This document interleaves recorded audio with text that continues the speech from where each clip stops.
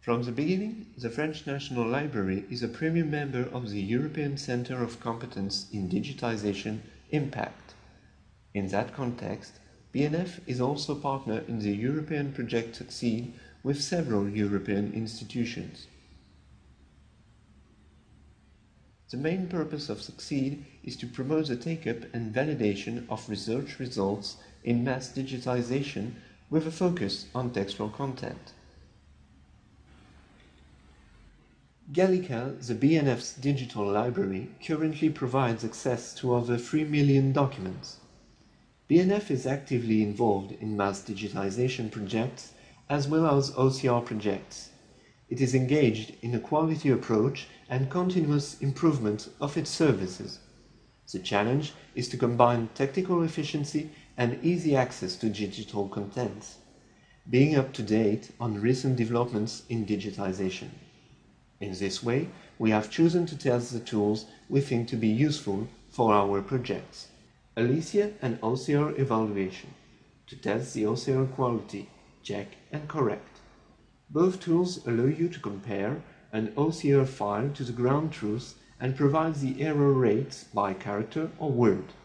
OCR evaluation also displays the text with the alignments and differences between the two versions. Aletheia works to create a ground truth using a range of semi-automatic tools. DBpedia Spotlight to ensure the most relevant search results involving contextual entity matching in order to improve entity disambiguation, name of person, geonames, and organizations.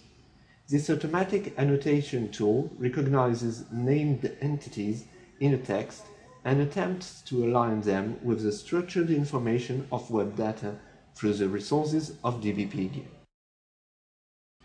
During the test, we have used two datasets, 50 pages of ground truth from Europeana Newspapers project to which BNF participates, and 1,880 pages from BNF Ground Truth project.